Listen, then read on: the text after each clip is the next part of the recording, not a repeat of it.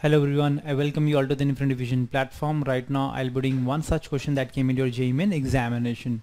This question came on 27th August 2021 in shifts 1. So let us see this question first. Question says, which of the following is not a dimensionless quantity? So you have been given relative magnetic permeability, power factor, permeability of the free space and the quality factor. We know that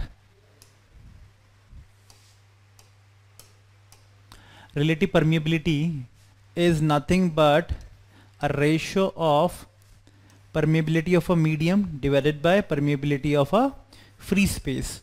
Okay so mu is nothing but permeability of a medium. And what is mu naught? Mu naught is the permeability of a free space. So it is the ratio of these two. So obviously it would be dimensionless. Okay because it is a relative permeability. So relative is itself a term which is uh, measured from another quantity which is of the same nature. So that's why it is unit less or dimension less. Okay.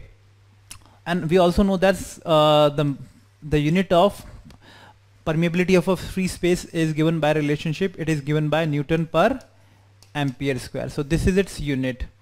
Okay. So we can also show that in the, in uh, out of the four options permeability of the free space it doesn't it is not unitless. Okay so that means we know the answer the answer is third. Take once seeing this option you can easily calculate this answer. Okay so this is not an option. So what about power factor? Power factor is nothing but power factor in uh, in a AC circuit is given by cos phi. It is nothing but power absorbed by the circuit divided by the total power consumed okay so it is also a ratio of the power so that's why it is also unitless. Okay and also the cos phi which is nothing but the cos uh, power factor it also has a unit of it is also unitless. Okay.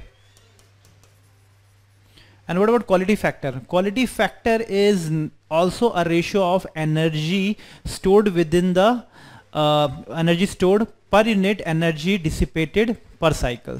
So that means quality factor is energy stored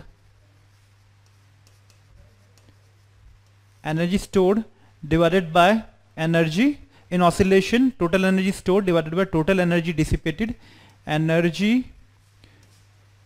dissipated per unit cycle okay how much energy has been dissipated per cycle is called as quality factor. Again it is a ratio of the energy so it would be dimensionless. So the third would be the correct option. Okay so I hope this question is clear to everyone. Thank you